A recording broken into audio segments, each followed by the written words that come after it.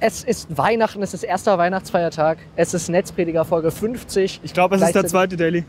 Es ist der zweite Weihnachts... tatsächlich. Ja. Aber lass uns einfach äh, weitermachen, ist ja eine Live Egal, genau. Das ist nämlich, heute haben wir uns ein bisschen was Besonderes überlegt hier.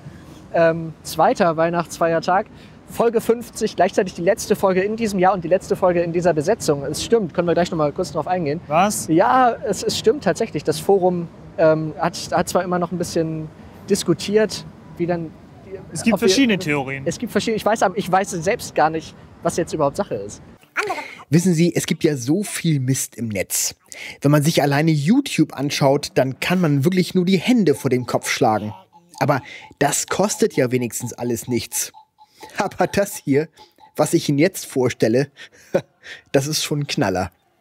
Das ist nämlich nicht nur schlecht, die wollen auch noch Geld dafür haben. Ja, Massengeschmack TV nennt sich das. Genau.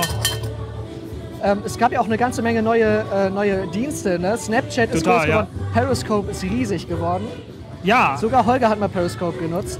ich, Und mir ist aufgefallen, ist wirklich groß. 2015 gab es viele Dienste, die jetzt sich jetzt revolutionär einfach nur die Einfachheit äh, zu eigen gemacht haben. Und Ja, so stimmt, im das Prinzip, stimmt. ich meine, Livestreams ist keine neue Technologie.